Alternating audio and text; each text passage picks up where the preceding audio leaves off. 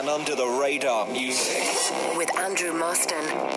Now, inspired by Independent Venue Week, we started at the beginning of this latest lockdown a brand new feature called Venue of the Week. Now, the idea is to celebrate some of our great establishments that were regularly hosting live music and keeping the local scene afloat, especially at a time that bands are effectively banned.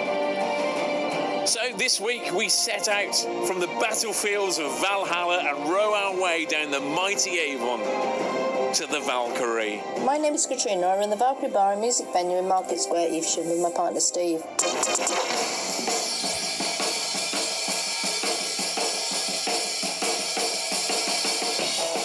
Great open plan venue with great acoustics, a big stage, computerized lighting, and a state of the art music system. We have a large bar away from the stage with three televisions linked to the jukebox. Because of the name of the bar, we do have some Viking memorabilia around which look great.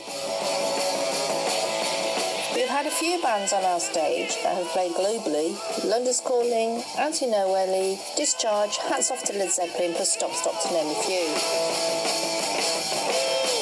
My favourite memory from the Viking Bar was opening night. We had the mayor come to open it and say a few words plus a Viking reenactment on the square. The band we were most excited about was Hats Off to Led Zeppelin. They were amazing and did not disappoint.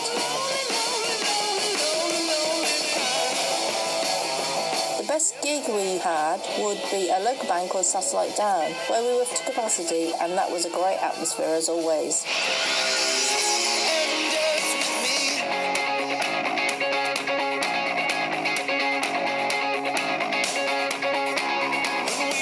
Worst band we've ever had playing mentioning no names was a four-piece band that we had to ask to stop playing at the interval due to the singer sounded awful, which didn't go down too well, as you can imagine.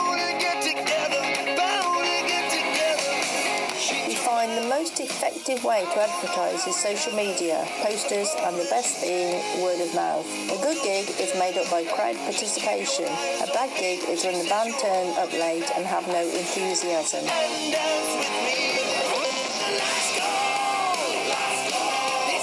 Funny story is when Stop Stop turned up at 2 pm to do a sound check. They were due on stage at 10 pm. Our daytime customers were a bit shocked to say the least. They did their gig and stayed with us until 3:30 am until we had to ask them politely, "We want to go home now. Haven't you got homes to go to? Bye." There you go, the Valkyrie in Evesham with the final word on tonight's show. But kind of time, well, just time for one more tune then tonight. And an artist who's lived in Herefordshire since the 70s, and his house is on the riverbank by Fownhope, which of course.